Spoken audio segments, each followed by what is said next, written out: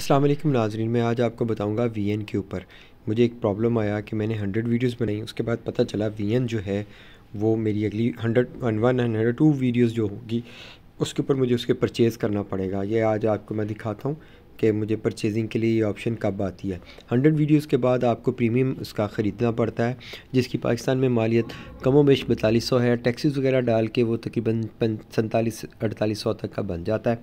तो मेरी गुजारिश है, जो भी इस्तेमाल कर रहे हैं, इसको इंतहाई अहम समझते हुए इसको यूज़ करें। इसको आम, जैसे रूटीन में आप एक होता है ना फ्री ना समझें। क्योंकि इसके लिए आपको पेमेंट करना पड़ेगी, जो कतई तौर पर मेरा नहीं ख्याल कि आप लोगों को पेमेंट करना चाहिए। अगर करनी है तो बाजारी बात है प्रो के ऊपर चले जाएँगे और आपको उसके लिए अनलिमिटेड आप वीडियोस नेक्स्ट ईयर में बना सकेंगे।